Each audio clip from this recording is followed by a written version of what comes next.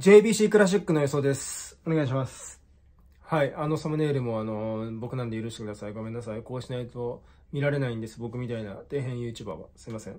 はい。ただね、予想は真面目にやってます。はい。というわけで、今回ね、JBC、えー、4競争、2歳優秀含めて4競争。ちょっと2歳優秀はちょっと動画出してないんですけど、あの、一番難しいね、クラシックが。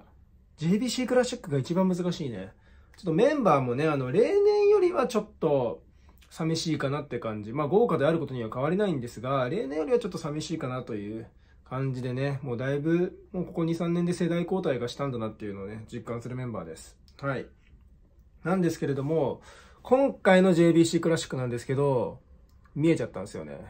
今回の JBC クラシック、勝つのは、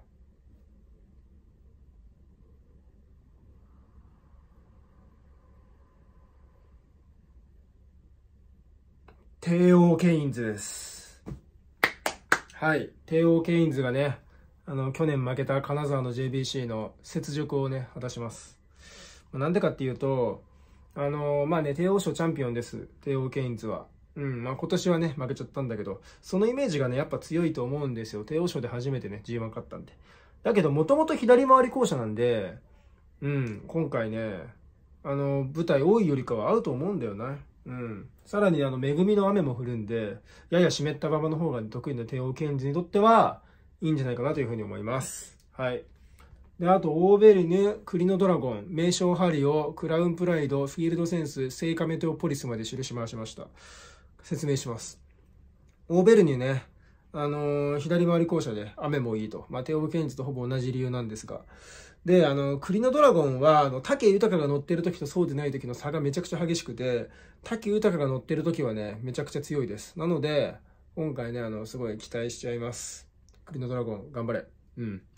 で、名称ハリオはね、あの、まあ、言わずと知れた帝王賞チャンピオン今年のなんですけれども、あのね、帝王賞は結構先行馬が流れたから、最後のあの合脚につながったとも思うので、もちろん強いことには変わりないんですが、ちょっとそこら辺のね、補正もしとかないといけないかなというふうに思いました。